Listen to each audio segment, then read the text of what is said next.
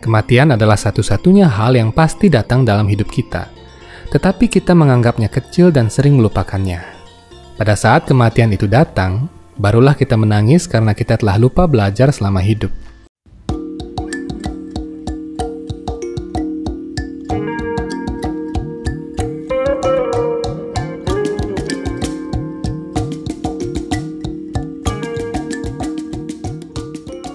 Om Swastiastu.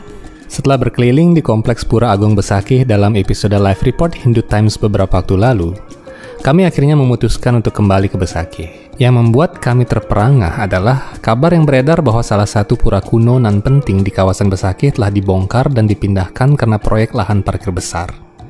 Pura itu bernama Pura Titi Gonggang yang sempat viral di jagat maya. Seperti ngapa sesungguhnya pura ini dalam kawasan suci Besakih? Mengapa pura ini didirikan di jalur sungai kuno dan apa petunjuk yang bisa kita ambil dari keberadaan pura ini?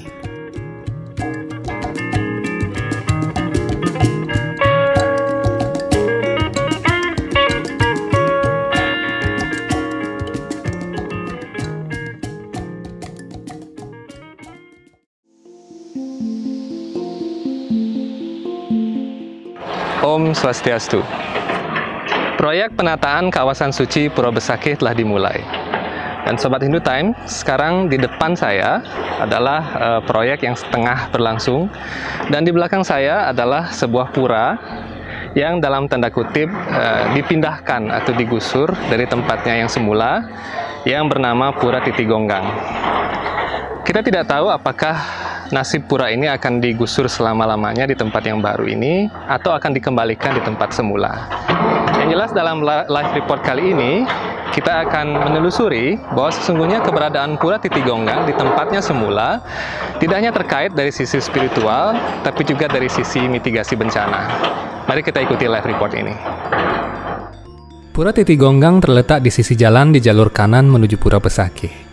Ada dua jalur menuju ke depan pura, yakni melalui jalur kiri yang berakhir di bagian sisi pura dan jalur kanan yang bermuara tepat di depan pura.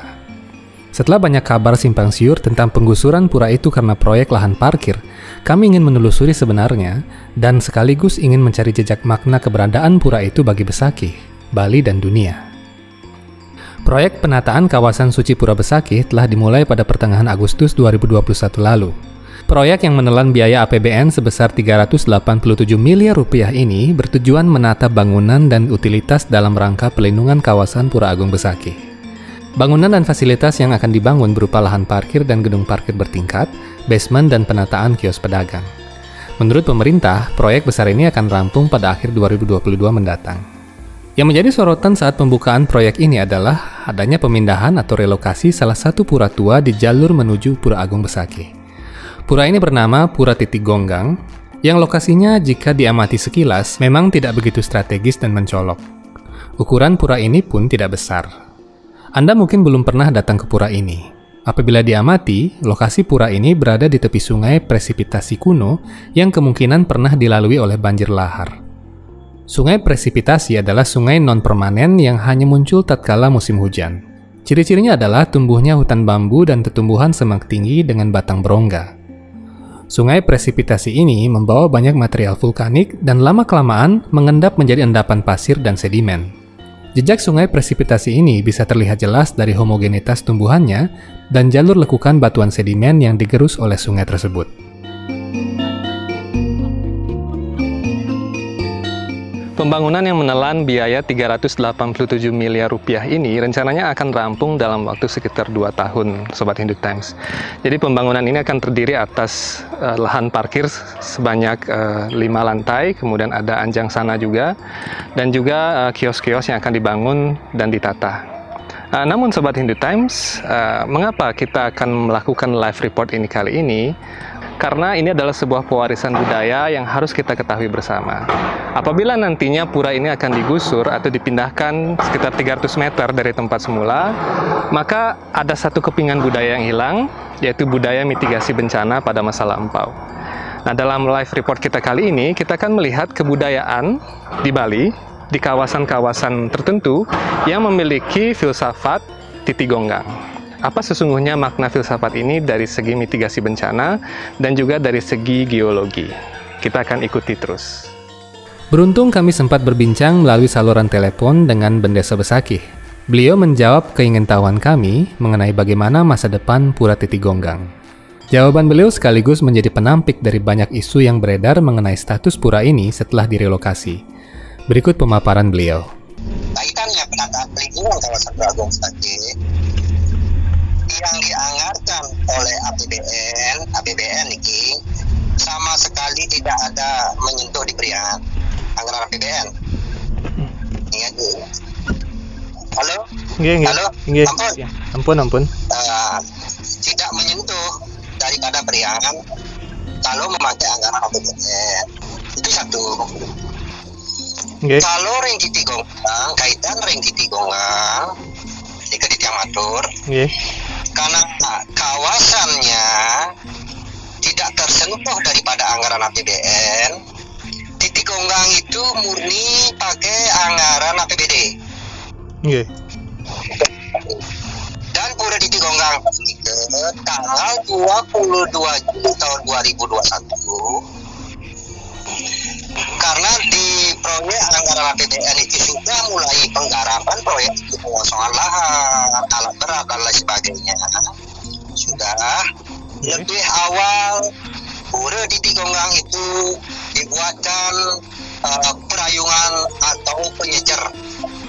Nyecerlah itu di Ulu karena akan ada perehaban daripada titik gonggang itu Ternyata Pura Titi Gonggang hanya dipindahkan ke bagian hulu untuk sementara waktu, bukan digusur secara permanen. Tatkala proyek gedung parkir selesai, pura ini akan dibangun kembali di lokasi yang sama dan dibiayai oleh anggaran pemerintah Provinsi Bali.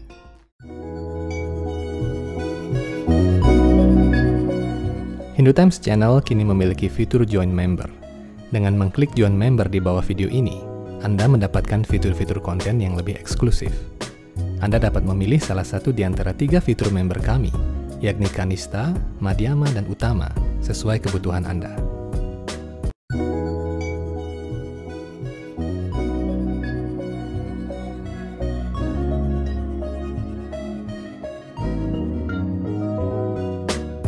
Sebelum video ini kita lanjutkan, kami menawarkan beberapa jenis merchandise untuk Anda.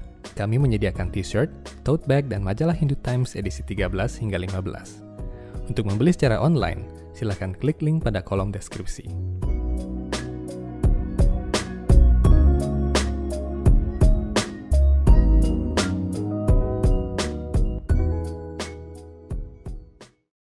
Meskipun kami telah mendapatkan jawaban yang melegakan mengenai masa depan pura itu, kami tidak berhenti sampai di sana. Karena itu adalah kali pertamanya kami berkunjung dan bersembahyang di Pura Titigonggang, kami jadi ingin tahu apa pesan yang ingin disampaikan oleh leluhur kita sehingga mendirikan pura di jalur sungai dengan nama Titigonggang. Menurut asal katanya, Titigonggang berarti jembatan yang goyah. Istilah ini terdapat dalam berbagai cerita rakyat dan juga naskah lontar, terutama lontar Putru Saji Tarpana. Dalam berbagai sumber lain, Titigonggang juga dikenal dengan istilah Titi Ugal Agil, Menurut kitab suci Weda Garuda Purana, sebagaimana yang disadur pula dalam naskah-naskah ritual kematian di Bali, jembatan goyah ini adalah jalur yang menghubungkan antara alam manusia atau alam fisik dengan alam sesudah mati. Bahkan dalam agama-agama lain, terdapat pula uraian mengenai jembatan seukuran rambut manusia yang mengantar seseorang menuju surga. Apabila dia jatuh dari jembatan itu, dia akan berakhir di neraka. Jika selama hidupnya seseorang menegakkan prinsip kebajikan, yakin pada petunjuk kitab suci dan orang suci, serta tidak melakukan perbuatan tercela, maka dia akan dengan mudah melewati jembatan ini. Namun apabila semasa hidupnya seseorang gemar menghumbar nafsu, loba dan angkara murka, maka dia akan kesulitan melewati jembatan ini karena jembatan ini sangat kecil dan selalu goyah. Secara filsafat, keberadaan Pura Titik Gonggang ini menjadi monumen sakral yang kecil kelihatan tak berarti, dan kadang dilupakan orang. Ini mirip dengan kematian. Kematian adalah satu-satunya hal yang pasti datang dalam hidup kita, tetapi kita menganggapnya kecil dan sering melupakannya. Pada saat kematian itu datang, barulah kita menangis karena kita telah lupa belajar selama hidup. Kita telah lupa belajar bagaimana membawa diri. Kita lupa mengisi nurani dan jiwa kita dengan bekal yang kekal. Pura titik gonggang yang kelihatannya kecil dan tua ini memberi kita makna yang dalam tentang kematian, sebab pura ini sangat terkait dengan pura dalam puri yang konon menjadi gerbang antara bumi manusia dan dunia setelah mati.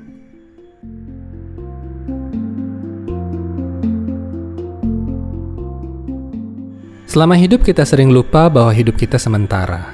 Kematian bisa datang kapan saja. Kematian datang seperti pencuri, tak pernah kematian itu memberitahu kita kapan dia akan datang dan memisahkan kita dengan segala hal yang kita sayangi.